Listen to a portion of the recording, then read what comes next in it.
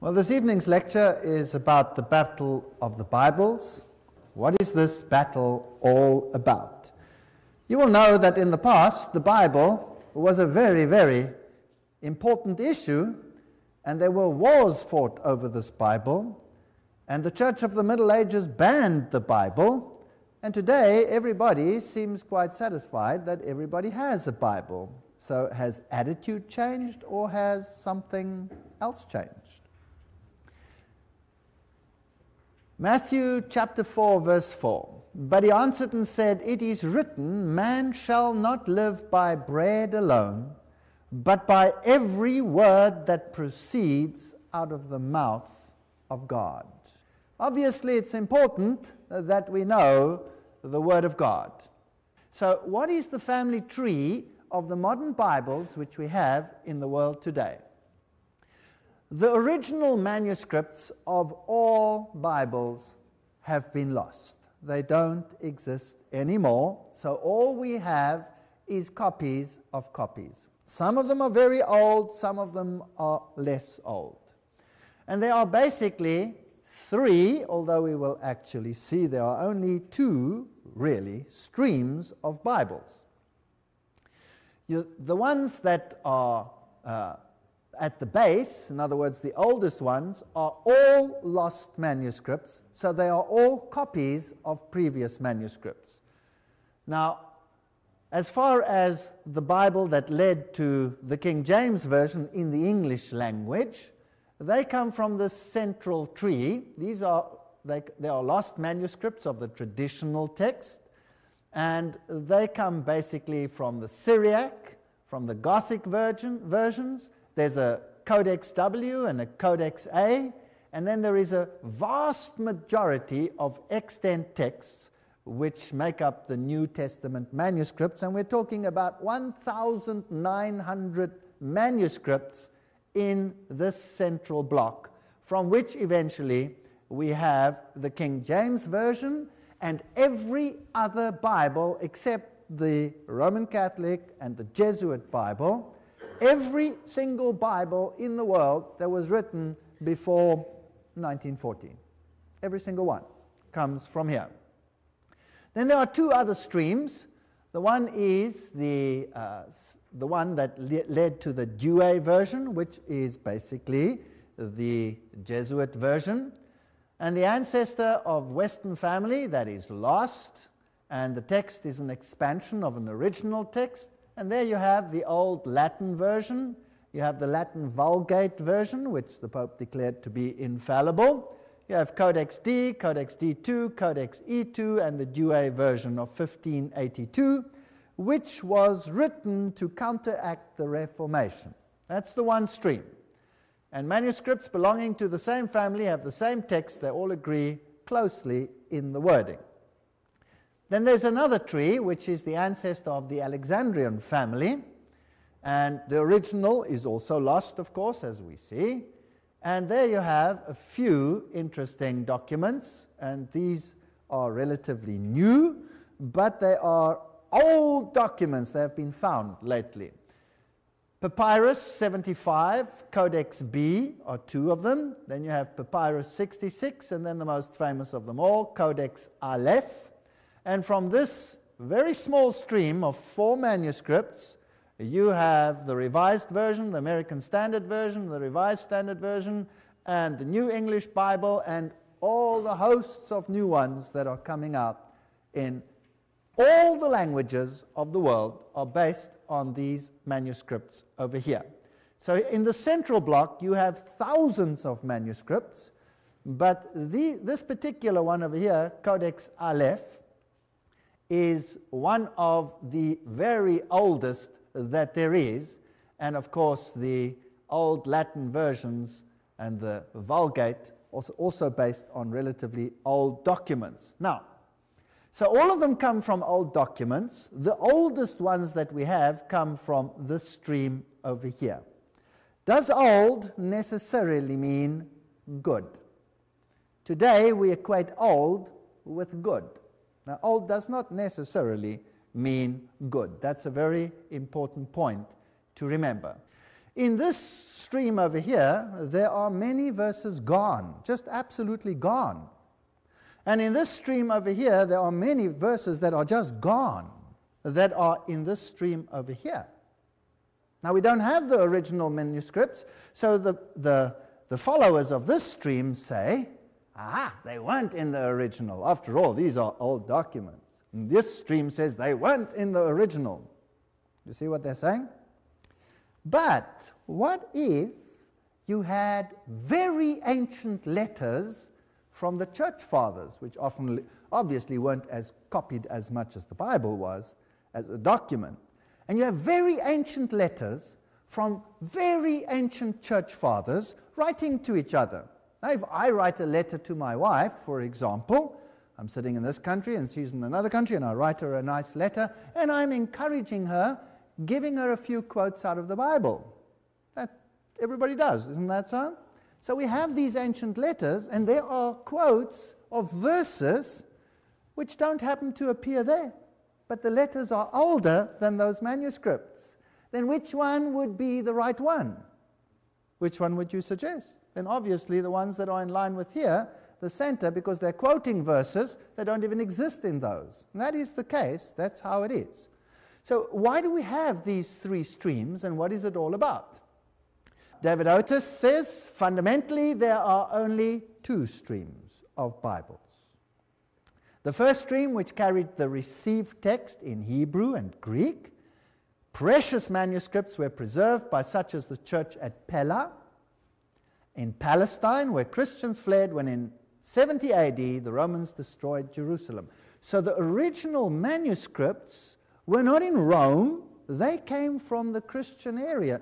They came from Jerusalem, they came from Syria, there where the apostles preached. That's where the original manuscripts were, and that's the logical place for them to be because that's where the apostles were, isn't that right? By the Syrian church of Antioch, which produced eminent scholarship, by the Italic church in northern Italy, and also, by the way, the Christians in northern Italy previously received their scriptures from the Middle Eastern route and not from Rome. And there was a major problem between the Ostrogoths and those in Rome because they had different scriptures. Very interesting. So, northern Italy had the same as those in the Middle Eastern regions and also at the same time by the Gallic Church in southern France and by the Celtic Church in Great Britain, the pre Waldensians and the Waldensians and the Reformation, they all had the same basic manuscripts.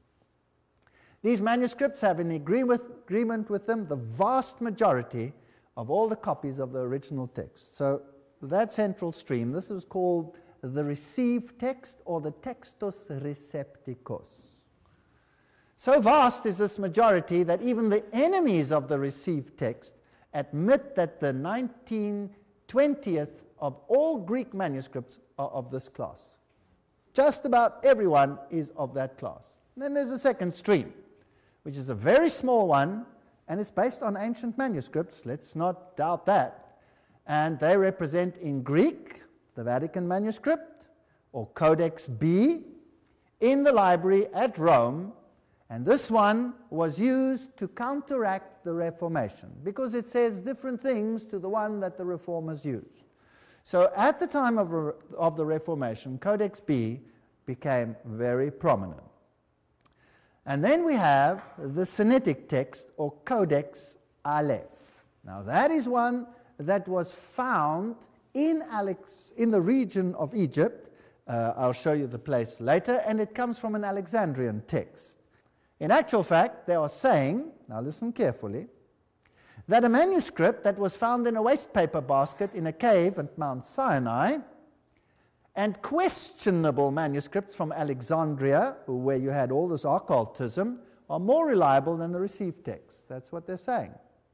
So these questionable ones are more reliable. In fact, the one found at Mount Sinai was thrown away because it had been copied over, rubbed out, and judging by the, the science of looking at how many times pieces had been rubbed out and rewritten, it seems that it has been rubbed out and rewritten in many places up to 70 times. In fact, it was so rubbed out and rewritten that they threw it away.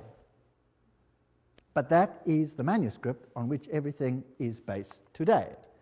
So we have this one, and it was found on a very interesting date. It was found in 1844. 1844.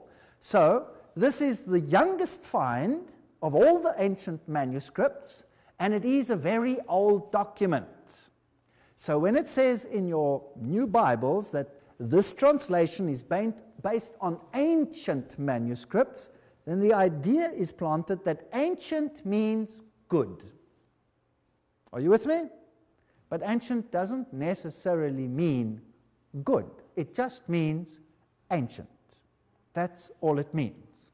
Now, where do these manuscripts come from? Now, there's a man by the name of Origen who was an old initiate. We'll find him in the Masonic writings as an insider initiate. That's interesting. If I find somebody praised in the Masonic writings, my ears prick up. He was a textual critic and he's supposed to have corrected numerous portions of the sacred manuscripts. Now, this is in ancient, ancient times. Evidence to the contrary shows that he changed them to agree with his human philosophy of mystical and allegorical ideas. For example, he believed that man was divine, and therefore there was not just one divine man that came to this earth. We are all divine, which is Masonic teaching even to this day. And Origen believed in the so called Arian heresy. Now, the Arian heresy is that Jesus was not God, and uh, that God is basically, if you like, a form of pantheistic God in everything. So we basically could also have a divine spark in us, which is Masonic teaching. Now, it's interesting that Roman Catholicism claims that it's anti Arian and that it fought wars and destroyed people that were Arian. There is no evidence, let me tell you now, there is no historic evidence that the nations that were destroyed because they were Arian, like the Ostrogoths, for example, or the Vandals, that they were actually Arian, because we have none of their writings. Every piece of their literature has been destroyed. We only have the word of Roman Catholicism that they were Arian. But now I have some interesting news for you. Remember, I told you yesterday that the Templars have two doctrines one is exoteric and one is esoteric. One is for the goyim, for the cattle, and one is for the insiders. Now, the gospel to the outside is non Arian, but the insider gospel of Roman Catholicism is Arian. Now, what do you do with that? And how do I know that it's Arian? It's because the Pope has declared the Vulgate as an infallible Bible, and the Vulgate is Arian. It removes the deity of Christ. Isn't that interesting? So, what's the battle about? The present controversy between the King James Bible in English and the modern version is the same old contest fought out between the early church rival sects. So, the early church had this battle because these ancient manuscripts are different. And the modern church has this battle. So both of them had the battle. There was a battle in the beginning, there was a war in the middle when the Reformation came out, a literal war eventually over this word, and now we have another battle looming in our time, the final battle. This will be the last one, I think. That's my opinion. So, once again, I would like to reiterate the argument is not King James versus other versions. The argument is received text, textus recepticus, versus the small little stream that comes from Sinai and the Vatican. That's the argument. By the way, any Bible in any language that existed before the 1900s is received text. So if you go to Serbia, they have the received text. If you go to Greece, they have the received text in Greek. If you go to any country in the world, the Lutheran Bible, any Bible, they're all based on received text, every single one. But after 1900, the modern ones are no longer based on that. Well, when this Bible came up, the Jesuits were called in to help. Big crisis, because now it was plain that the teaching of Rome was not in accordance with the Bible. And this is one of their statements. Notice what the Jesuits wrote. We must undermine the Bible of the Protestants and destroy their teachings. The Queen of England, realizing the damage the Jesuit Bible could do, sent to Europe for Beza, who was with John Calvin, to help Cartwright to write this new uh, manuscript. Uh, he took hold of the Greek manuscripts and the Latin manuscripts from the received text, and he hit the Jesuit Bible blow the blow. So, war broke out. So eventually they sent the Spanish Armada against England to make war, and they came with 136 armed ships with 50 cannons, and all England had was a measly 30 ships. These huge galleys came, they were going to flatten England because of this Bible. Well, Sir Francis Drake got up that morning. He must have been very nervous. But what did he find? A storm had come up in the night, and the Spanish galleys lay smashed upon the shores as high up as Scotland, the entire fleet destroyed in the storm. And all that he had to do was mop up. And from that day, England became a great sea power. That's history. Now, what did the Jesuits say about the Bible? Here's the quote. Then the Bible, that serpent which is with its head erect and eyes flashing, flashing, threatens us with its venom while it trails along the ground, shall be challenged into a rod, changed into a rod as soon as we are able to seize it. For three centuries past, this cruel asp has left us no repose. You well know with what folds it entwines us and with what fangs it gnaws us. They hated the Bible. The Jesuit Catechism, there is the quote, says, Question What if the Holy Scriptures command one thing and the Pope another contrary to it? Answer The Holy Scriptures must be thrown aside. What is the Pope? He is the Vicar of Christ, King of Kings, Lord of Lords, and there's but one judgment seat belonging to God and the Pope. That's quite a statement. Now, what does Freemasonry say? It's always nice to have the comparative documents. Morals and Dogma, the source, page 818. Regarding the Bible, Pike writes the absurd reading of the established church, taking literally the figurative, allegorical, and mythical language of a collection of Oriental books of different ages, well, it's pretty derogatory, the folly of regarding the Hebrew books as if they had been written by the unimaginative, hard, practical intellect of the England of James I and the bigoted stolidity of Scottish Presbyterianism. Boy, he didn't like that translation. He hated it. And how did he feel about the Templars and the Jesuit version? The better to succeed and win partisans, the Templars sympathized with regrets for dethroned creeds.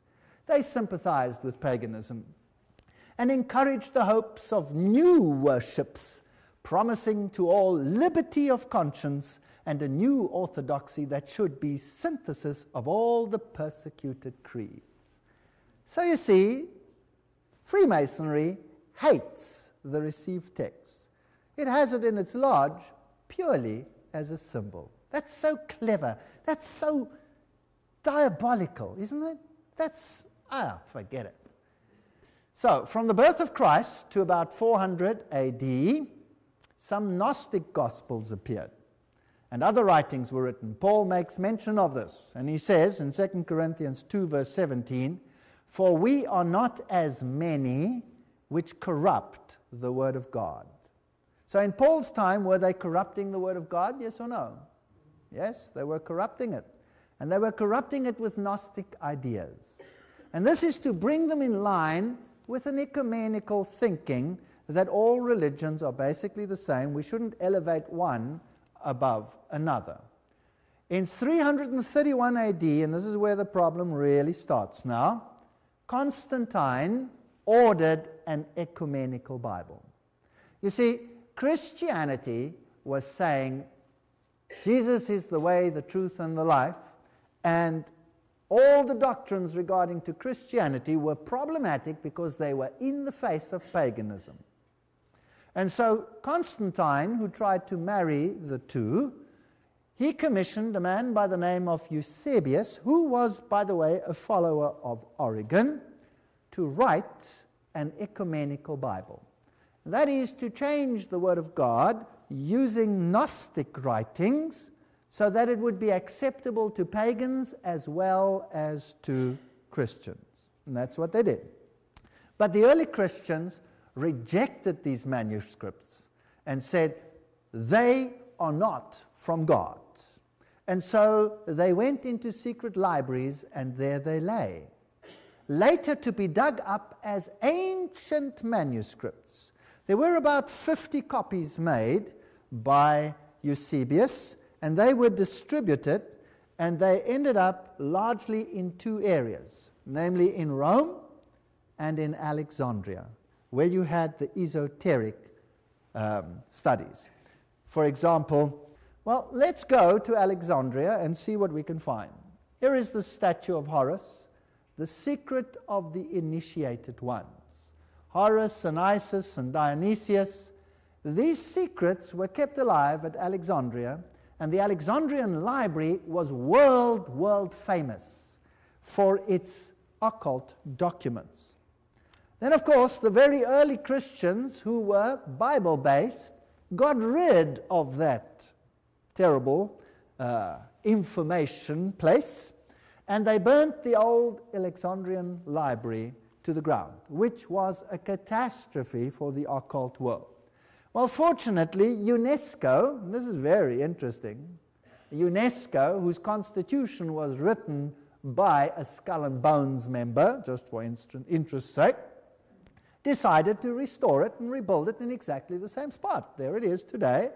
And uh, the lamps that they've put down, uh, they have interesting stuff on them, like little angels carrying cornucopias, which we discussed yesterday.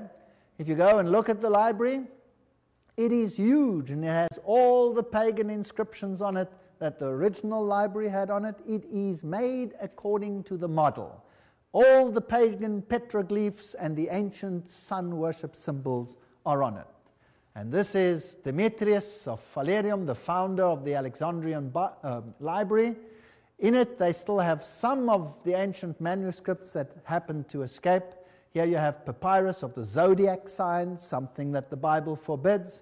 Here you have a piece of the Book of the Dead, which is the Egyptian Book of the Dead, which is the counterpart to what the Bible teaches. It exalts the God of the dead, the Bible exalts the God of the living. Then you have these petroglyphs here, which are too disgusting, so let's just go away. And they have the deities in their hexagons, and Socrates, an ancient mystic. Socrates, of course, died from drinking hemlock. He was an initiate, and he released some of the secrets. And according to the oath. If you do that, you can die of the poison cup if you choose, or you could have your throat slit from ear to ear and uh, your tongue ripped out of your mouth. He chose the hemlock. The dead are exalted. This library is absolutely enormous. One cannot even imagine how big it is. I made one small video of it. Let's have a look what it looks like. Just to give you an idea of the size, it's absolutely enormous and uh, all the interesting pagan symbols are there. A total replica of what once must have existed there. Well, just to show that I was there, because otherwise people think I wasn't, taken from high up in the library. It was opened by uh, Mubarak in 2002. It's spanking new, spanking new. I had to go and see it, I had to go and photograph it. And uh, here they have a statue of Prometheus bearing the fire. According to the occult writings, that's Lucifer, the light bearer, and some of the symbols on the walls, on the retaining walls. Now, let's just have a look at some of the manuscripts which Rome says are essential for um, understanding the greater gospel. And Rome placed the Bible, and that is only the Textus Receptus, by the way, on the index of prohibited books. They didn't place their Vulgate on the index of prohibited books. It's the Protestant Bible that they placed there. So the early church of Antioch, as I've already said, used these Syrian manuscripts, and this is a book that uh, is forbidden by Rome. The Septuagint, on the other hand, was made for Alexandria, for the library there, in 285 BC. So, interesting um, data. The apocryphal books, that means hidden things. The Council of Trent said the following in 1546 Whoever shall not receive as sacred and canonical all these books, and every part of them, as they are commonly read in the Catholic Church and are contained in the old Vulgate Latin edition, or shall knowingly and deliberately despise the aforesaid traditions, let him be accursed. So they said we must accept all of these manuscripts. Let's briefly run through them. Let's go to Tobias 6, verses 4 to 8, where it says, Open the fish and take the heart and the liver and the gall. If a devil or an evil spirit trouble any, we must make a smoke thereof before the man or the woman, and the party shall no longer be vexed. As for the gall, it is good to anoint the man that has witness in his eyes, and he shall be healed. So if you want to drive away evil spirits, demons, then wave the gall of a fish and make a smoke thereof, and it will go away. The Bible says, and signs will follow those believing these things. In my name they shall cast out demons. Mark 16, 17. Acts 16, verse 18 says, being distressed and turning to the demonic spirit, Paul said, I command you in the name of Jesus Christ to come out of her. And it came out that hour. So he didn't use the gallbladder of a fish. Tobias 12, verse 9 says, For alms does deliver from death and shall purge away sin. Oh, that's nice, so you can pay to get your sins taken away. Peter says, For as much as you know that you were not redeemed with corruptible things as silver and gold from your vain conversation received by tradition from your fathers. Two opposing doctrines. Which one is right? Do you think you can buy your way to heaven? Prayer to the dead, Maccabees 12, verse 43 to 46. For if he had not hoped that they were slain, would he have risen again? It had been superfluous and vain to pray for the dead. Whereupon he made reconciliation for the dead that they might be delivered from sin. So you can pray for the dead that they are delivered from sin. This is paganism. John 1 7 says, Jesus Christ cleanses us from all sin. There's no such thing. That brings us to the Vulgate Bible. By the way, Jerome's Bible, which is the one that is used in the Vatican, the Latin Vulgate, how could Helvidius, a contemporary, have accused Jerome of employing corrupt Greek manuscripts if Helvidius had not had pure Greek manuscripts? So while Jerome was writing this Latin Bible, other scholars were already saying, hey, you're using corrupt manuscripts for this. So this battle is an ancient battle, it's not a new battle. 1545 to 1563, that was the one which was declared infallible. Now, what does the Vulgate say? Our Bible says all scripture is God breathed. The Douay, which is based on the Vulgate, says all scripture inspired of God is profitable. So only some scripture is inspired. Hebrews 11:21 says Jacob worshipped as he leaned on top of his staff. The Vulgate says Jacob adored the top of his rod. That means you can pray to a relic. You can pray to a statue. That's where they get their doctorate from. It also says in Revelation, in the Codex Vaticanus, Blessed are they which wash their robes. But the King James says, Blessed are they that do his commandments. Well, the Dead Sea Scrolls, these were writings meticulously copied by the Essenes. The ancient manuscripts that they copied were exactly like those found in the Bible today. So they proved that the Bible had not changed in all this time. And these manuscripts were very exciting. But then some other interesting manuscripts have been found besides this famous uh, one that was found near Alexandria. And that is a whole series of Gnostic Gospels. And Time magazine reported on these some time ago. Words from the past 46 scriptures dug up near Nag Hammadi in Egypt in 1945 changed views of early Christianity. Now, interestingly, Egypt was the seat of the occult science, and these were buried to keep them safe. From whom?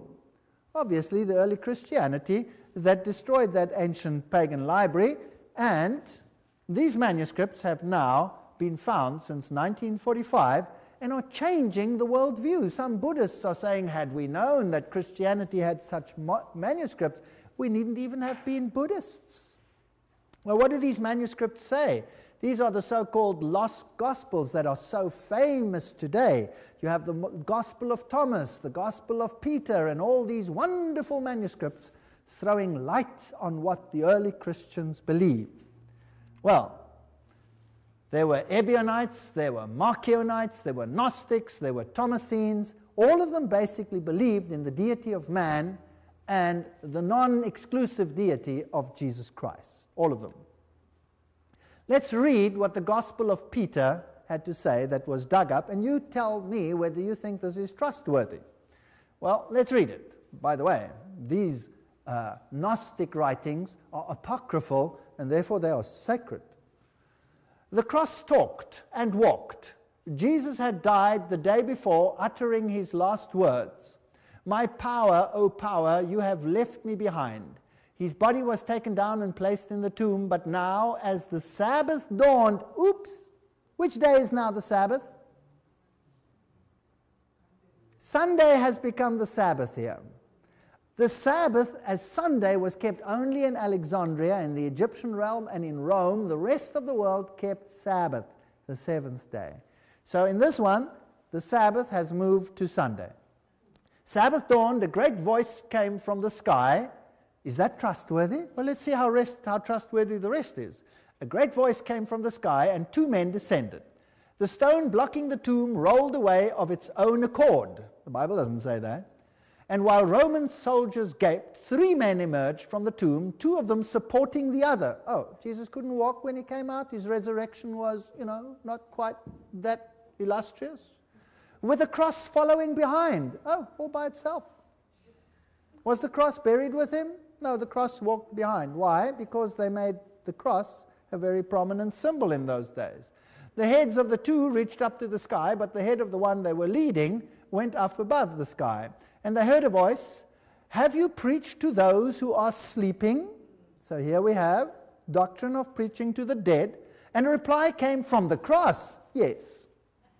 Do you trust this gospel? If you do, I feel sorry for you. I think it belongs where that other one was found, in the trash. Let me take you to Sinai. Well, I was interested to go to St. Catherine's, where this manuscript, this famous manuscript on which all modern translations are based, was found. Here it is, St. Catherine's Protectorate. This is the monastery, the famous monastery. Here are the skulls of the monks that uh, were active there. And if you like, you can pray to them and get a blessing.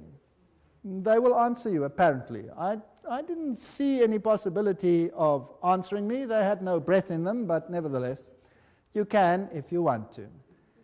This is Sinai, so they say. And in the church, you find the symbols of sun and moon and all the pagan symbols.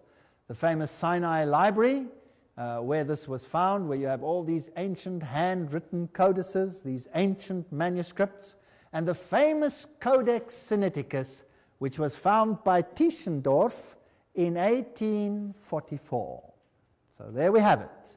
So it was handed over to Catholic scholars in 1844 and uh, from the University of Leipzig. Interesting date. That's Codex Sinaiticus. And there you have some of the ancient manuscripts that are in that place. This is the famous four Gospels of Codex Sinaiticus. That's my friend over there. We're going into the monastery and some of the paintings in the monastery. And then this fascinating bush over here with all these people lining up to pray in front of this bush. This is a famous bush. In fact, this bush has survived for thousands of years and has never ever been watered. Never been watered. In fact, it is one of the most famous bushes in the history of the world. It is the famous burning bush that Moses bowed down to, so they say. They told us it had never been watered. I was inquiring what that pipe was there, but they in, insisted that it was a, a, dead pipe, which it was. There was no water in it, but it's a very prickly bush, so I was wondering whether there was another one behind it, perhaps. Nevertheless, you can pray to the bush and it can give you a blessing. I didn't want to pray for it. I thought maybe touching it will help, but I haven't felt anything since then. Now, this is the type of paganism that is being taught there. Isn't it incredible? Now, let's get to t- these two gentlemen, Westcott and Hort. These are the ones that wrote, based on the ancient manuscript, the Greek text upon which all modern translations are based. Who were these two gentlemen and what did they believe? Now, everything I'm going to say about them comes from books written by the sons of Westcott and Hort publishing their own letters. So this is not what somebody says about them, this is they themselves saying what they believe. This is the horse's mouth. Wonderful to have quotes like that. They probably wish they had never done that after this lecture. Hort, as well as Westcott, rejected the idea of infallibility of the Bible, called the doctrine of substitutionary atonement, that Jesus died for you, he called it immoral. He denied the historicity of Genesis. He praised Darwin and he denied the divinity of Christ. Does it sound familiar? Who were these people, Professor Westcott and Hort? Well, Westcott was born in 1825, Hort born in 1828. They were members of the Broad Church, the High Church party of the Church of England. They became friends during their student days at Cambridge University, worked together. Westcott became Bishop of Durham and Hort is best remembered as Professor of Divinity at Cambridge University. Well, their doctrines are so Jesuit that I wouldn't be surprised if they were two of these illustrious gentlemen. Hort's view on evolution, he says, the beginning of an individual is precisely as inconceivable as the beginning of a species. It certainly startles me to find you saying that you have seen no facts which support such a view as Darwin's. But he was a Darwinist. And uh, he says, his book drove me to the conclusion that some kind of development must be supposed. So he was a Darwinist. This is a letter from Hort to Macmillan. He writes another last word on Darwin I shall not let the subject drop in a hurry, or to speak more correctly, it will not let me drop. And so he continues to say that he is a Darwinist. Here is another letter from Hort to Westcott. Have you read Darwin? How I should like to talk with you about it. And another letter to Ellerton. But the book which has most engaged me is Darwin. Another letter of Hort to Ellerton. I had no idea till the last few weeks of the importance of the texts. These are the new ones that had now been found. Having read so little Greek Testament and dragged on with the villainous Textus Receptus, so he calls the received text villainous. Think of that vile textus receptus. Doesn't that sound like a Jesuit who hated the received text, who called it that asp, that serpent? Leaning entirely on late manuscripts, there comes their argument. The Sinai text was early. It is a blessing there are such early ones. Then, Hort to Reverend Ellerton, one result of our talk, I may as well tell you, he, Westcott, and I are going to edit the Greek text of the New Testament some two or three years hence, if possible. And he talks about Lachmann and Tischendorf, who will supply the materials. And then uh, he says, Our object is to supply clergymen generally, schools, etc., with a portable Greek text which shall not be disfigured with Byzantine corruptions. In other words, it won't contain what the received text contains. How are they going to do this? Another letter, Westcott to Hort, as to our proposed recension of the New Testament text, our object should be, I suppose, to prepare a text for common and general use, with such an end in view, would it not be best to introduce only certain emendations? Only change it a little bit here and a little bit there into the received text and to take note in the margin, such as seem likely or noticeable of the Griesbach's manner. You know, if we change it completely, these British will get nervous. Let's just change it here and there and right in the margin what we think is important. So that when they read it and they read the manuscript margin, they'll see, oh, yes, we see that this probably shouldn't be there because an early manuscript, corrupt one, they don't say that, it doesn't have it. You see what I mean? That's what they've decided. I feel most keenly disgraced of circulating what I feel to be falsified copies of Holy Scripture. That's a reference to the uh, authorized version. And I'm most anxious to provide something to replace them. This cannot be any text resting solely on our own judgment, even if we were not too inexperienced to make one.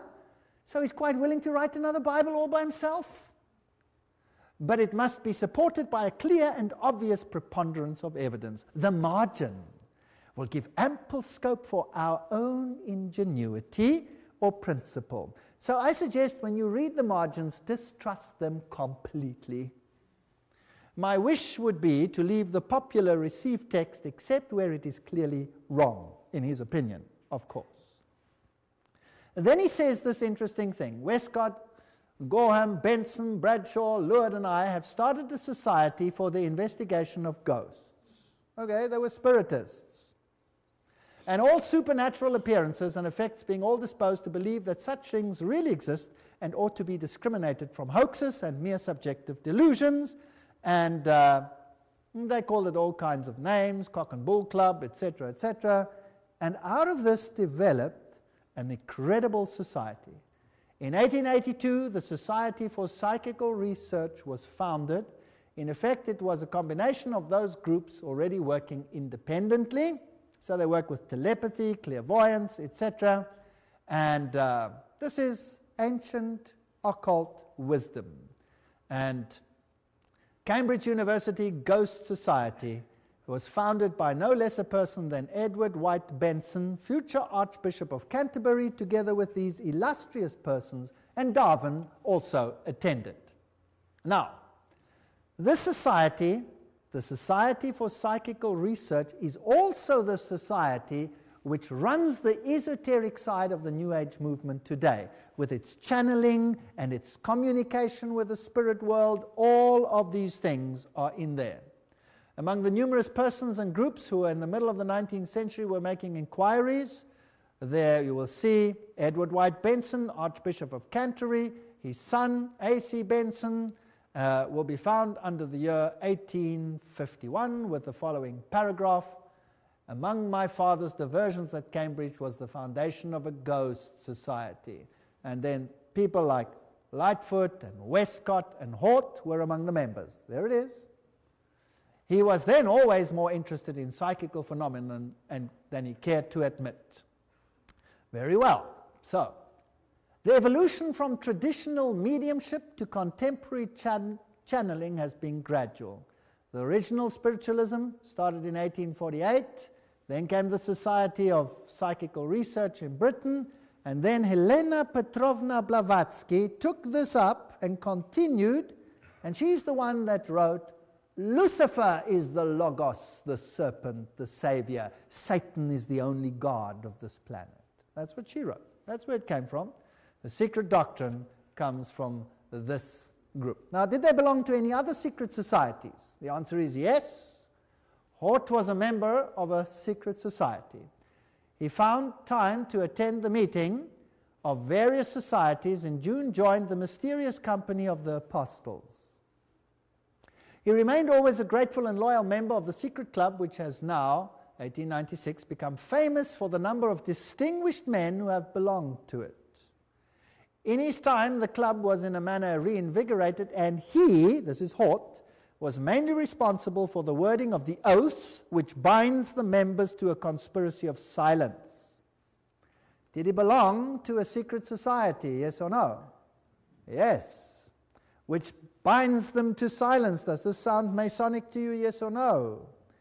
Well, the Prime Minister of England was also in there, and he wrote the constitution for the League of Nations, where he insisted that all religions should become one, and wrote an esoteric solution to that, which is also Masonic. So these people were Masons. Now, we saw yesterday that the high initiates believe that who is God? The devil is God. Satan is God. Lucifer is God. So, Mr. Hort, are you going to rewrite the Bible while you believe that Lucifer is the Son of God? Doesn't that mean that Jesus must be made less than he is? Yes or no? Wouldn't they want to rewrite the Bible so that Jesus is written out of the Constitution? Yes or no? Well, do we find that today or don't we? That's the question. We'll see for ourselves. Bring your Bibles along. Let's have a look. 1854, Hort to Reverend John Ellerton.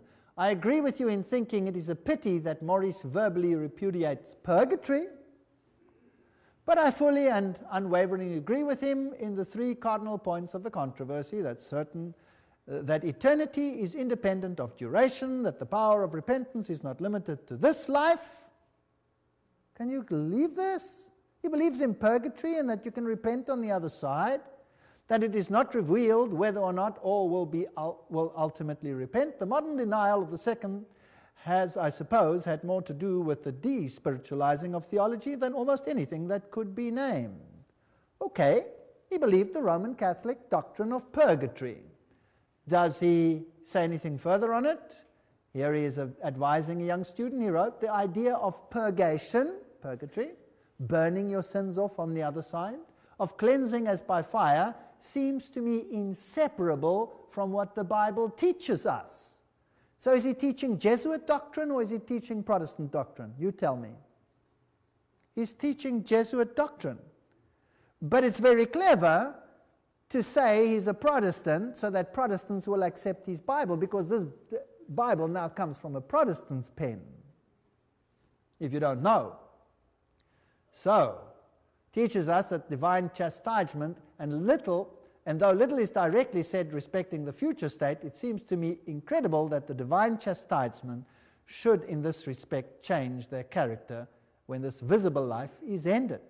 So he believes in purgatory. What does he say about the atonement? That Jesus died for you?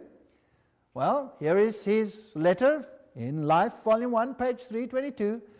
I think I mentioned to you before Campbell's book on the atonement, which is invaluable as far as it goes, but unluckily, he knows nothing except Protestant theology.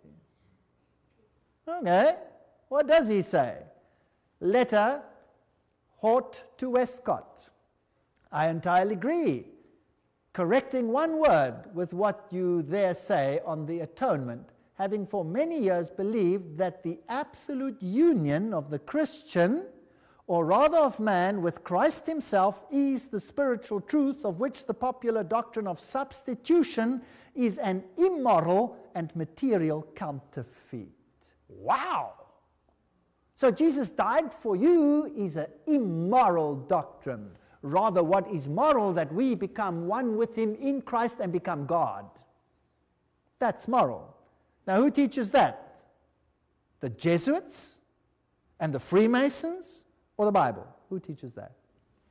Well, what was this man? Belonged to a secret society, had a psychic club, and not only that, he hates the received text and he spits on the atonement. That's like a Templar. That's spitting on the cross.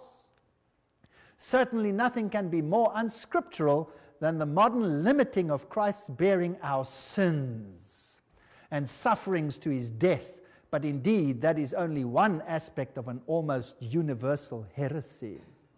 Okay, these are the people who have trans- who've created the document on which the modern Bibles are based. Do you believe they're trustworthy? I don't think so. Here's another letter, Hort to Reverend Davies. No rational being doubts the need for a revised Bible, and the popular practical objections are worthless Yet I have an increasing feeling in favor of delay. He was having problems because the British still knew their Bibles. Of course, no revision can be final, and it would be absurd to wait for perfection, but the criticism of both Testament in text and interpretation alike appears to me to be just now in this chaotic state. in Germany, hardly as if all the less in England, that the results of immediate revision would be peculiarly unsatisfactory. Oh, the British knew their Bibles. This was a problem. We have to be careful and sneaky with what we are going to do. Then he says, well, let's first read what it says down here. It is, of course, true that we can only know God through human forms, but then I think the whole Bible echoes the language of Genesis 1:27 and so assures us that human forms are divine forms. Gotcha, Mr. Hort. What is he saying? He's saying we are God. We are God. Who teaches that?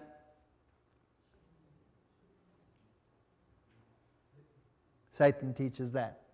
Now listen to this 1 John 5, verse 7 in the King James. For there are three that bear record in heaven the Father, the Word, and the Holy Ghost. And these three are one. What does that make Jesus? Makes him God. You will search in vain in the modern Bibles for that verse. You won't find it in the NIV. You won't find it in the RSV. It's been removed so that they can be God. Hort to Westcott. I have been persuaded for many years that Mary worship and Jesus worship have very much in common in their causes and their results. Perhaps the whole question may be said to be involved in the true idea of mediation, which is almost universally corrupted in one or both of the opposite directions. Ah, so who can mediate for you just as well? Mary can. Is that Catholic doctrine or biblical doctrine? What about the other man? Westcott writes, I've been trying to recall my impressions of La Salette. That's interesting. La Salette. We'll be talking about La Salette, a Marian shrine. I wish I could see what forgotten truth Mariolatry bears witness and how we can practically set forth the teachings of the miracles. Well, Mr. Westcott, so you want to bring Mariology in and make Jesus less? Isn't that interesting? Let's look at this picture again. In an Islamic country, Mary on the spiral, standing on top. Here we have Holy Mary, Queen, circle with a dot in it. Do you remember what Albert Pike said that was? That was the generating principle, like the ship and the mast. Same thing. They use that symbol for Mary.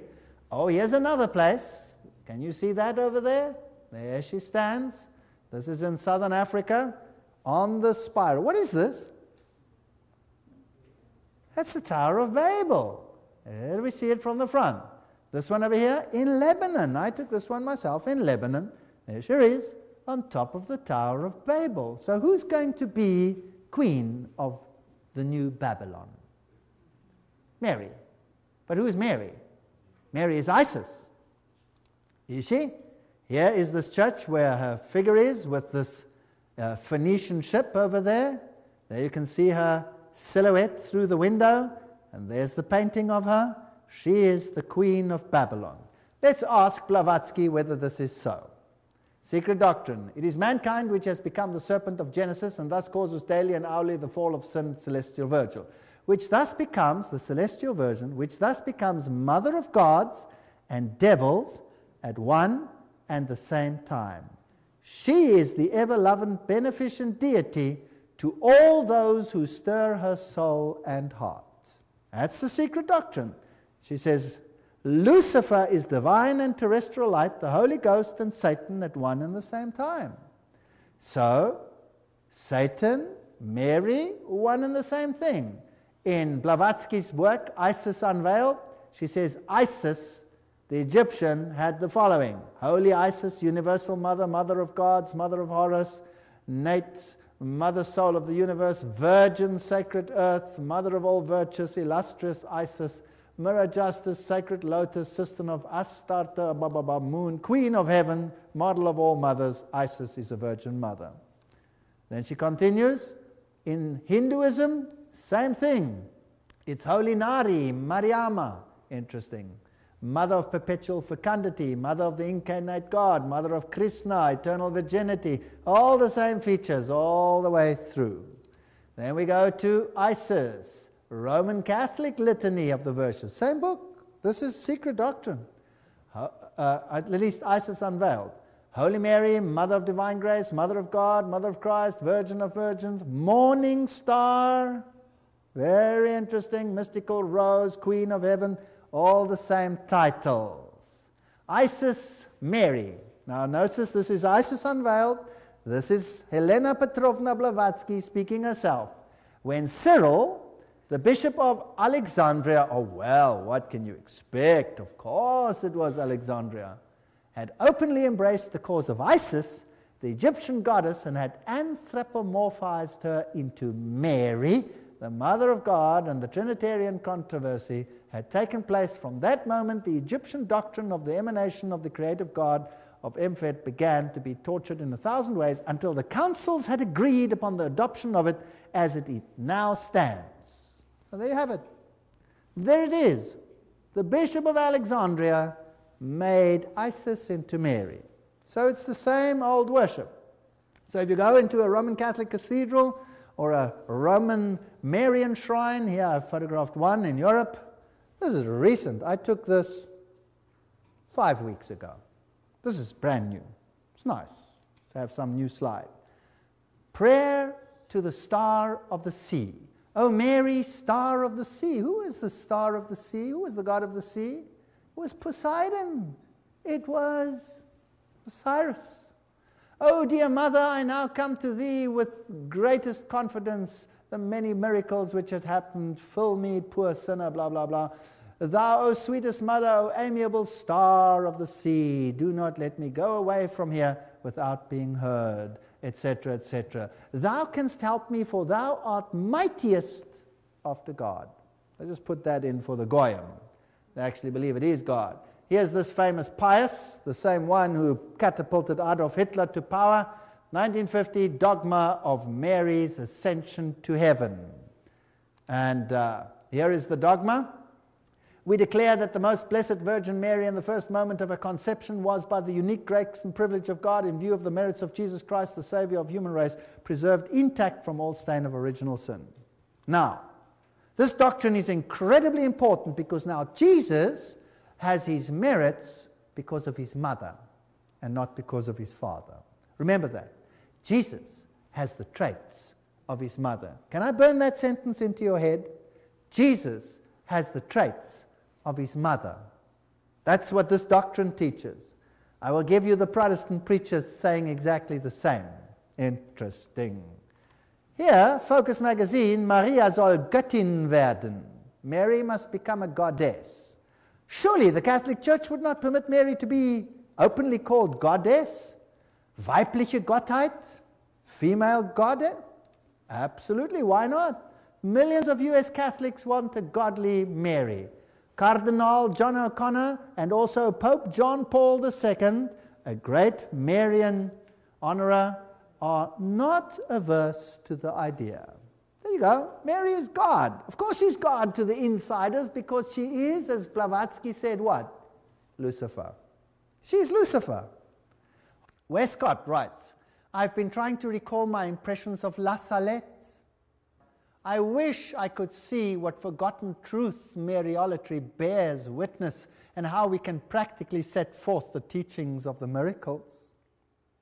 Well, Mr. Westcott, so you want to bring Mariology in and make Jesus less?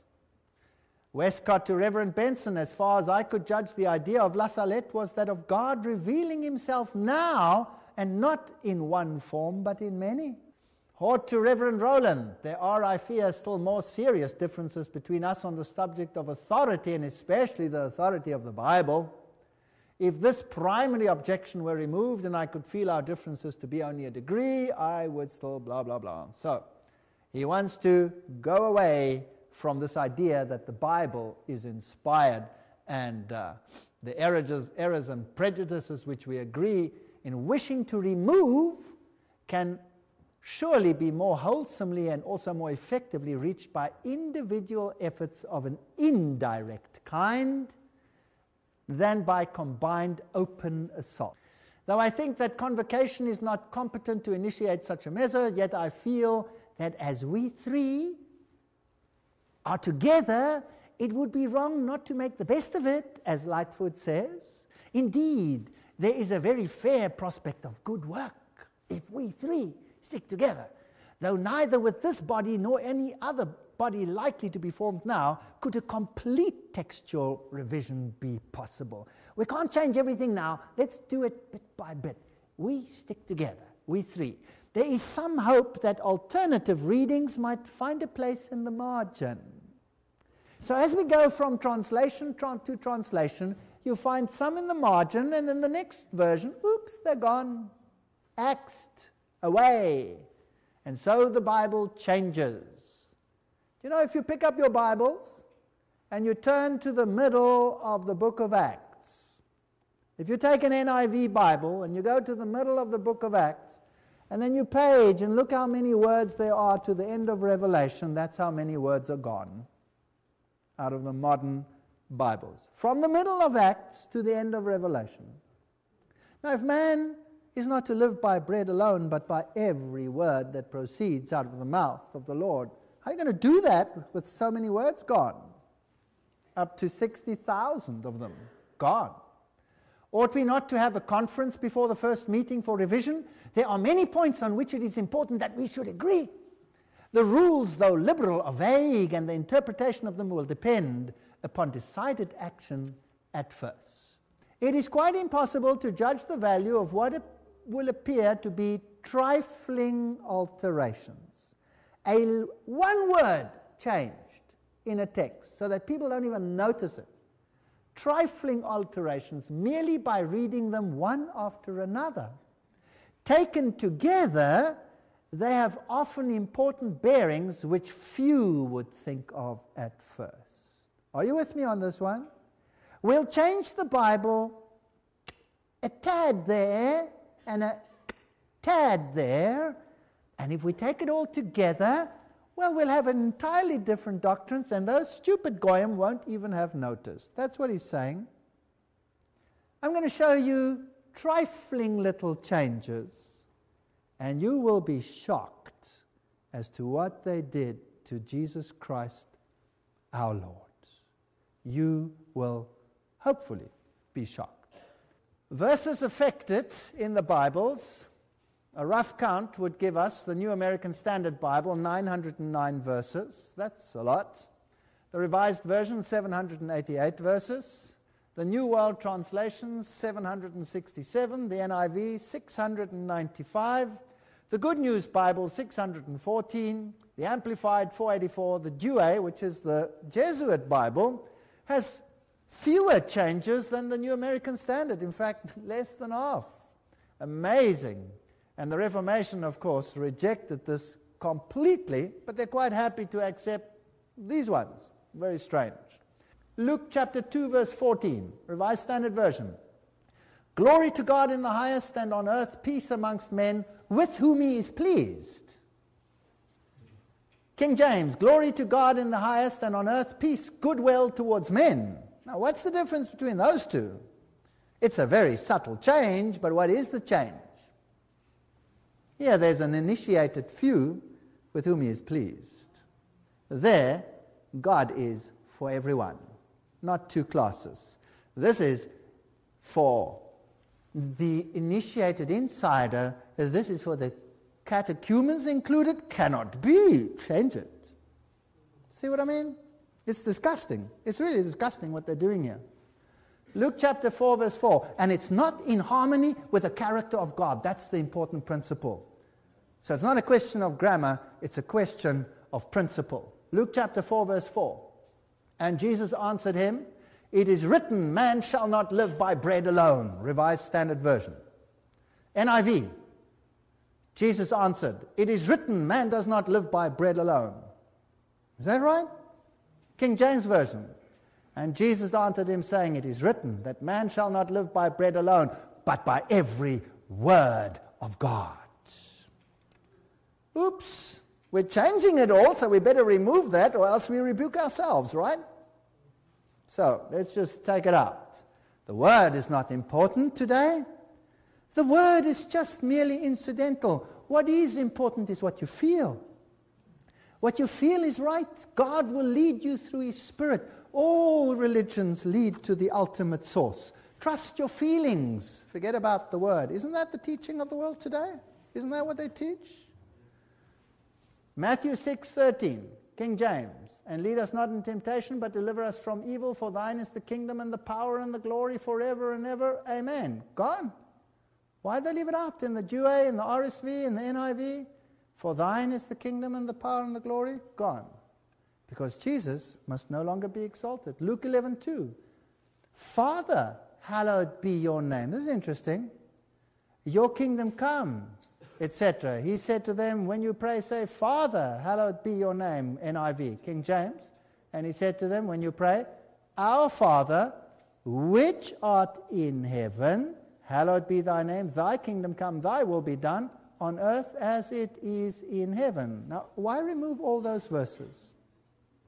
You see, here in the RSV and the NIV, you can pray to whom? You can have the Pope as Father. You can have the Pope. But here you can't, because our Father who art in heaven cannot be the Pope. So let's take those verses out. Luke chapter 22, verse 43 and 44. Gone. You won't find it in the RSV. And there appeared an angel unto him from heaven, strengthening him. And being in an agony, he prayed more earnestly, and his sweat was, as it were, great drops of blood falling to the ground. Why do you think they removed that text? Remember, they don't believe in the atonement. And if they don't believe in the atonement, they don't believe that Jesus shed one drop of blood for you.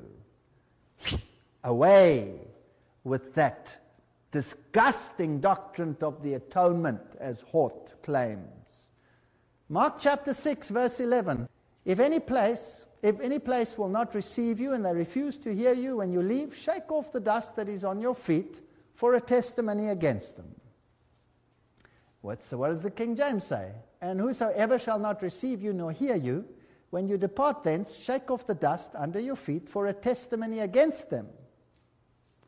Verily I say unto you, it shall be more tolerable for Sodom and Gomorrah in the day of judgment than for that city.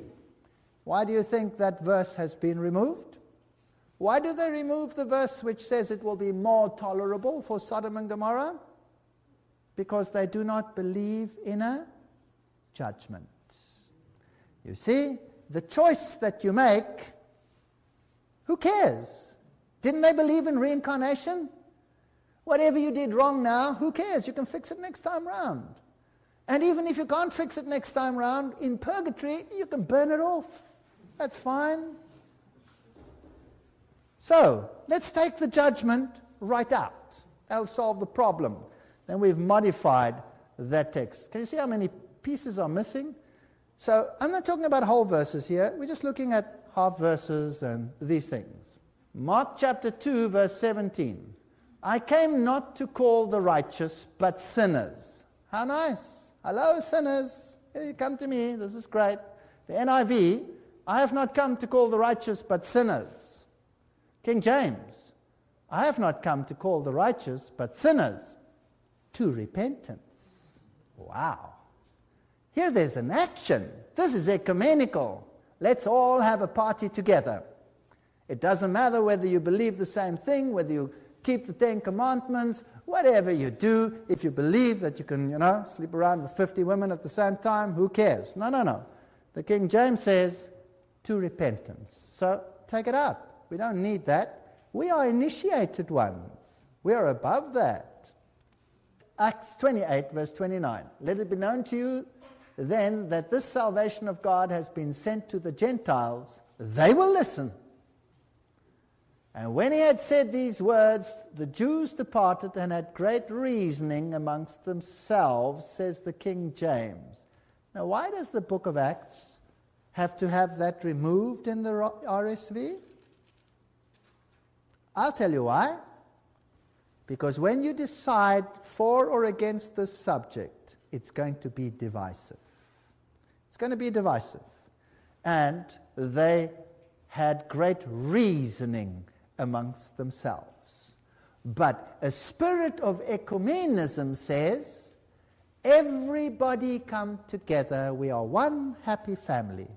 Here, there is a spirit of separation. Do you understand the difference? Very important difference. So Jesus makes a difference. The gospel is a two edged sword which strikes and cuts through to the marrow. And people make a decision based on the facts. And they either move to the one camp or the other camp. So that is why verse 29 in an ecumenical Bible had to go, because great reasoning and a split came between them. Acts 9, verse 29. He talked and debated with the Greek and Jews, but they tried to kill him. Interesting. King James. He spoke boldly in the name of the Lord Jesus and disputed against the Grecians, but they went about to slay him. You see? What makes the difference? Jesus makes the difference. If you want an ecumenical Bible, well, here's argument and debate, but here the debate is about Jesus Christ. He makes the difference. Revelation 14, verse 5. And in their mouth no lie was found, for they are spotless. NIV, no lie was found in their mouth, they are blameless. King James, and in their mouth was found no guile, for they are without fault before the throne of God. You see, here is a, an accountability towards a higher power. Here, there is no accountability. There could be an accountability to yourself. It means nothing. Here, it is important who rules. Revelation 22, verse 14, is a radical change. Blessed are those who wash their robes. I hope they use the right soap powder. I don't know what brands you have here, but maybe it makes a difference. Revelation 22, verse 14 says, Blessed are they that do his commandments, that they may have the right to the tree of life. Now, which one do you think is probably right? Here, there's no accountability. And uh, what are you washing your robes with? What are you rush washing your robes with? Blessed are they that do his commandments. That's obedience. Let's change that. In the RSV, in the NIV, in the ASV, let's get rid of it. Luke chapter 4, verse 8. And Jesus answered and said unto him, Get thee behind me, Satan, for it is written, Thou shalt worship the Lord thy God, and him only shalt thou serve. Well, the Douay, which is basically the Jesuit Bible, or the product of the Jesuit Bible. And Jesus answered, said to him, It is written, Thou shalt adore the Lord thy God, and him only shalt thou serve. What's gone? Something's gone. RSV, same thing. And Jesus answered, It is written, You shall worship the Lord your God, and him only shall you serve. The NIV, Jesus answered, It is written, Worship the Lord your God, and serve him only. All of them leave something out. What do they leave out? Get ye behind me, Satan. Now, why? Why do they leave that out? The expression, get ye behind me, Satan, was earlier omitted because Jesus used the same expression later to Peter in Matthew 16 23 to rebuke the apostle. And we wouldn't want the same spirit to be confused here, and this has to do with the doctrine of Peter becoming eventually a pope. It's quite a complex issue, but uh, there's a good reason why they took it out. John 5, verse 39 Search the scriptures, for in, the, in them you have eternal life. You search the scriptures because you think that in them you have eternal life. The NIV, you diligently study the scriptures because you think that by them you possess eternal life. What's the difference between them? Here it is a command search the scriptures, semicolon, for in them you think you have eternal life. Here, it is they who are, have the initiative. On this point, the Dublin Review, notice this, this is a Catholic newspaper or a Catholic article, July 1881 says the following. But perhaps the most surprising change of all is John 5:39. That's the one we just read. It is no longer search the scriptures, but ye search and thus Protestantism has lost the very cause of its being. So they knew what they were doing and why they changed it. Because we believe that you have to search the scriptures to find eternal life. And here, Protestantism is scrapped because just they believed. 2 Timothy 3:16, the ASV, every scripture inspired of God is also profitable for teaching. King James Version, all scripture is given by inspiration of God and is profitable for doctrine. They changed one little word. What's the difference? One little word. We will change, said Hort, a little bit here, a little bit there, and they won't even notice it. They're, after all, catechumens. They're so stupid, they won't notice. What is this? Here, only that scripture which is inspired by God is profitable. So, which is inspired and which is not? Well, that's for the initiator to decide, isn't it? That's why the Pope will tell you what to believe, and you can't just read for yourself, because then you are heresis. You make your own choice, and that is heresy. You're subject to the penalty of death. All scripture is given by inspiration of God and is profitable for doctrine. Mark 13, verse 14. But when you see the desolated sacrilege set up where it ought not to be, well, this is fascinating. But when you see the abomination, this is King James, of desolation spoken of by Daniel the prophet, standing where it ought not to be. Why take that out? Because Jesus is pointing to two specific apocalyptic books in the Bible where we should study for the end times. The one is the book of Daniel, and the other one is the book of Revelation. Blessed are they that read the words of this book, it says in terms of Revelation, and it says, when you see this spoken of by the prophet Daniel, go and look over there. You'll find some answers there because they were asked, What is the sign of your coming and of the end of the age? Check that out in the book of Daniel. Jesus said, Wow, let's take away the evidence. Just remove it. They don't like that prophecy. 1 Corinthians 11:9. Now, here you have the whole question of transubstantiation, the whole mass story coming out. For he that eateth and drinketh unworthily eateth and drinketh damnation to himself, not discerning the Lord's body. RSV, for anyone who eats and drinks without discerning the body eats and drinks judgment upon himself. The unworthy is gone and the Lord is gone. The NIV, for anyone who eats and drinks without recognizing the body of the Lord eats and drinks judgment upon himself. Wow, this, this is Roman Catholicism. This is a host. Here you have transubstantiation. The omission of unworthy and Lord therefore condemns Protestants who do not believe that the bread has been turned into the body of Christ. This is a Jesuit Bible. The NIV is a Jesuit Bible, make no doubt. I used to read it, and I still have it on my shelf, but I like to use it to show people the changes. So don't throw them away, keep them, make a whole series of them. Now, what about the restoring the confessional? Roman Catholicism teaches the confessional. King James says, confess your faults one to another. The RSV, therefore, confess your sins one to another. The NIV, therefore, confess your sins to each other. The Dublin Review, this is a Catholic newspaper, July 1881 says, the apostles have now power to forgive sins and not simply to remit them. Confess your sins is the new reading of James 5:16. So was it deliberate? Yes or no? It was deliberate. It was very deliberate.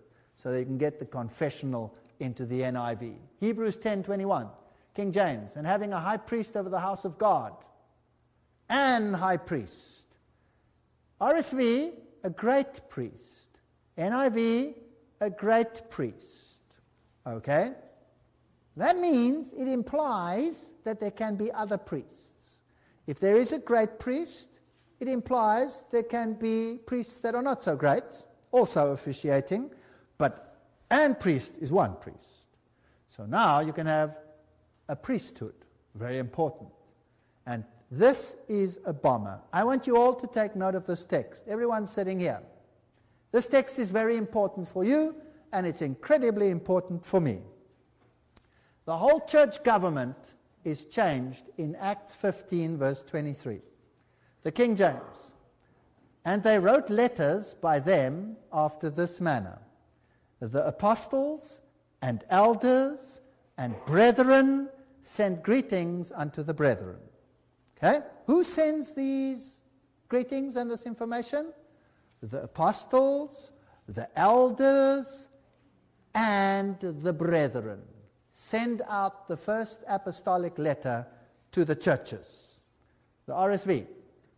With the following letter, the brethren, both the apostles and elders, to the brethren who are of the Gentiles. The NIV. With them they sent following letter. The apostles and elders, comma, your brothers, to the Gentile believers. What does this do? This is very important. All they've changed is basically a comma. That's all they've done. It's a very subtle change. But it's a mighty, mighty, mighty, mighty change. And I'll tell you why. Because here you have three groups officiating in the church you have the apostles, you have the elders, and you have the brethren. And Peter says, You are all priests. Does Peter say that? Yes or no? You are all priests. That's what Peter says.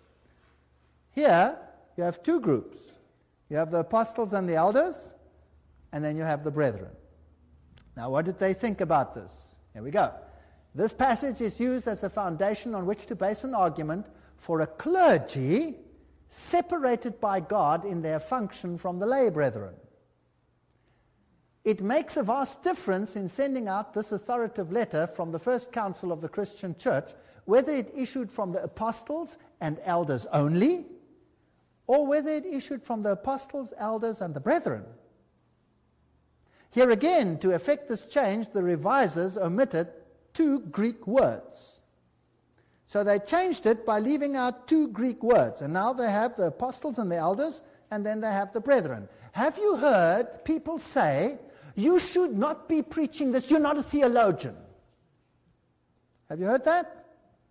What right have you to stand and preach the Word of God? You are not a theologian. I'll tell you, I have heard that many, many times in my life. I'm not a theologian. No, I'm a brethren. And so are all of you, brethren. And you have the right to preach the Word of God because you are priests of the Most High. To change it, you are, have no right to preach, you are not a theologian, is Jesuit teaching. It's from the pits of hell. It's not biblical. And everybody is a priest of God. So ignore them when they say you're not a theologian. You have the right to read the Word of God just as they have the right to read the Word of God. Very important changes, and they irritate me. This name, then, of priest and priesthood, properly so called, as St. Augustine said, here we go back to the church fathers, which is an order distinct from the laity and vulgar people, ordained to offer Christ in an unbloody manner in the sacrifice to his heavenly Father for us, to preach and minister the sacraments and to be the pastors of the people, they wholly suppress in their translations. See the point? Augustine says, We are holy priesthood, and you are just profane rubbish. We'll tell you what to believe. No, no, no. The Bible says no such thing. And that early letter, very important. Mark 10, verse 21.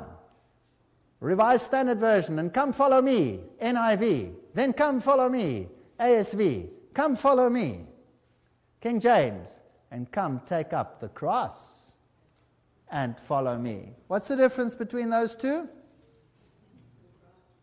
Here is a cross to bear. When you become a Christian, there's a change in life and there is a cross to bear. And that is Christianity. The other is what? Salvation in sin, one big happy party. Mark 10, verse 21. Why would they take that out? Isn't it incredible? Just take it out. Why not? Mark 10, verse 24, RSV. Children, how hard it is to enter the kingdom of God. The NIV. How hard it is for the rich to enter the kingdom of God. Wow, even worse. King James Version. Children, how hard it is for them that trust in riches to enter into the kingdom of God. What's the difference between those two? Well, here, you might as well give up from the beginning and rather inco- reincarnate a couple of times. Here, better not get rich, better give all your money away. Here, money is not the problem, it's making an idol of money that's a problem. Isn't that correct? You can be rich, but you can do a lot of good for the Lord God. You can do a lot of good. So this one is the only one that makes any sense. This one is just discouragement. My God is a God of encouragement, not discouragement. Take it out. We don't need that. We need alms, after all. If you have to keep uh, the monasteries and the nunneries going, you better take that verse out. Matthew 13, 51. Have you understood all these things? Jesus asked. Yes, they replied. RSV says the same thing. Yes, the King James says, Yea, Lord. So they recognize him as God, Kyrios. Oh, by the way, that's been removed many, many times, hundreds of times in the NIV. Everywhere where it says Jesus is Lord, that's gone in the NIV. John 9, verse 4, one little word changed. Notice this, how cute they are. I must work the works of him that sent me while it is day, the night cometh when no man can work. The RSV and the NIV says, We must work the works of him who sent me. What's the difference between the two? It's a massive difference. In the one, Jesus is the only one who can do this work. Here we can all do it. I will show you modern day preachers in lectures to come that stand up on the pulpit and say, they could have saved you just like Jesus could. I'll show you preachers, high ranking preachers in the world, who say that exact thing. And, well, no problem. You can use this text in the new reversions to do that. One little change. 1 Timothy 3:16 God great indeed we confess is the mystery of our religion he was manifested in the flesh who was manifested in the flesh Hello, would you care to look at me? I am manifested in the flesh. Can you see me? I'm flesh and bones. It's no big deal. But here, and without controversy, great is the mystery of godliness. God was manifest in the flesh. There's a difference. You see how they systematically reduce Jesus and how they take him out of the Gospels? It's a shame. It's a crying shame. And this one is the bomber. Remember that Hort denied the atonement. They hated the doctrine that Jesus Christ died for you by the shedding of his blood. Colossians 1:14. King James, in whom we have redemption through his blood, even the forgiveness of sins. The Jesuit version, in whom we have redemption, the remission of sins. What's gone? Through his blood. Well, what's the RSV say? In him we have redemption, the forgiveness of sins. Strange. And the NIV? In whom we have redemption, the forgiveness of sins. That's the Jesuit Bible. So basically, if you read the NIV, you're reading the Jesuit Bible. Through his blood, gone. Change in the doctrine? For even Christ, our Passover, is sacrificed for us. We've had this text, but I just want to show it to you again. There it is. The for us is removed in the RSV and it's removed in the NIV. So, no difference. Acts 8, verse 36 and 37. Well, this is a sad one. The whole atonement gone. If thou believest with all thine heart, thou mayest. And he answered and said, I believe that Jesus Christ is the Son of God. The whole verse verse 37. Take it out.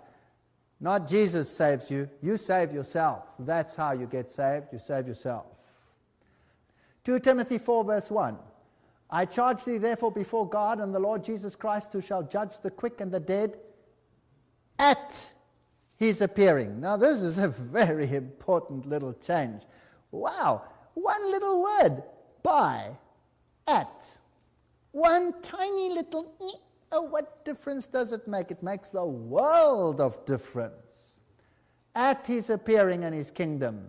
I charge thee before God and Jesus Christ, says the Jew who shall judge the living and the dead by his coming and his kingdom. RSV says the same. By. NIV says in view of. Hello? What does that imply? This implies that the judgment takes place when? When Jesus comes back. Jesus is going to come back. What does the other one imply? Implies something totally different. Let's see. The King James in this text fixes the great day of judgment as occurring at the time of his appearing and his kingdom.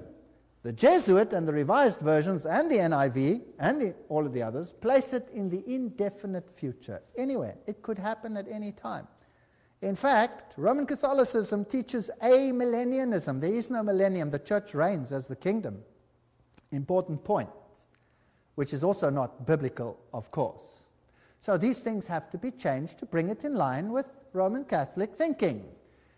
Now I would like to invite three people, three volunteers. One with an NIV, one with a Revised Standard Version, if you have one with you, and one with a King James, just to come up to the front, and we'll do a little experiment. Just a quick one, just for fun. Let's do it. This is great. Will you look up Matthew chapter 17, verse 21? Will you read it to me out of the King James? Howbeit, this kind of goeth not out but by prayer and fasting. This one goes not out but by prayer and fasting. What does the NIV say? He replied, Because you have. That's 20. No, I want only verse 21, please. Okay. Why doesn't it say 21 here? It Oh, oh, it doesn't say 21. What, is, what does the RSV say? It doesn't say either. Oh, the RSV doesn't say it either. Let's go to Matthew 18, verse 11. 18, verse 11. What does the King James say? For the Son of Man is come to save that which was lost. Wow, that's a potent verse. How many sermons have been preached on that word? What does the NIV say? It, it says verse 10 and verse 12. There is no verse 11. There, there is no verse. Oh, okay. What does the RSV say? Same. You can't find it in there? No. Oh, that's rather sad. What about Matthew 23, verse 14? Could you read that for me, please? Woe unto you, scribes and Pharisees, hypocrites, for ye devour widows' houses, and for a pretense make long prayer. Therefore ye shall receive the greater damnation. Wow. The clergy that is so exalted now gets one knock. What does yours say? No 14. There's 13 and 15. Oh, the, the, surely, you know, they must be so exalted. Jesus made a mistake with that verse. Let's just take it out. What does yours say? Nothing. Oh, it doesn't have it either. What about Mark 7:16? If any man have ears to hear, let him hear. Verse 14 and 15, but no verse 16. No verse 16. No, not either. It's important to listen to the word of God. No, let's take that out. What about 1 Timothy 3:16? Let's just look at that one. There we go. Timothy. 1 Timothy. First Timothy? 1 Timothy 3 verse 16. 16. And without controversy, great is the mystery of godliness. God was manifested in the flesh, justified in the spirit, seen of angels, preached unto the Gentiles, believed on in the world, received up into glory. What is it, verse 316? Yes. 316. Uh, it's not in there. Right here. There it is. Oh. There's a little bit of it there. The pillar and foundation of the truth. Beyond all question, the mystery of godliness is great. He appeared in a body, was vindicated by the Spirit, was seen by angels, was preached among the nations, was believed on in the world, was taken up in glory. And you have the same. He was, right? He was. Yes. It says, Great indeed, we confess, is the mystery of our religion. He was manifested in the flesh, vindicated in the spirit, seen by angels, preached among the nations, believed on in the world, taken up in glory. And if you take that home with you tonight, then that is the crux of the matter. The King James Version says, God was manifest in the flesh. Jesus Christ is God. Jesus Christ is the only one who can save you. Jesus Christ is the only one whereby you can be saved. Because he's the only one who made you, and therefore he's the only one who can redeem you. He's the only one who can open the seals of the scroll.